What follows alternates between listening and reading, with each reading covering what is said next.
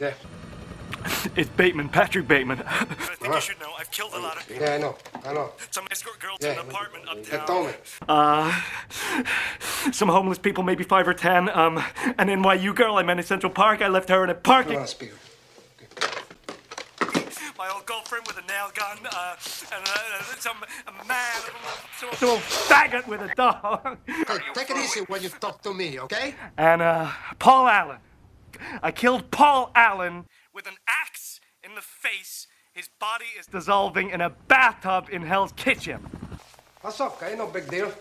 You know, he's a piece of shit, you know?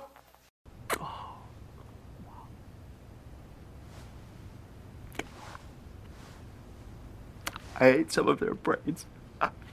Oh, What the fuck is wrong with this guy, man? You kidding me or what? sounding so fucking sad. Hey, who the fuck do you think you're talking to, huh? Who the fuck do you think I am, you fucking bellboy? Come Come on, brother. Do you want to go to war? Come on. Do you want to go to war? We'll take you to war, okay? Tony, coño. Cálmate, man.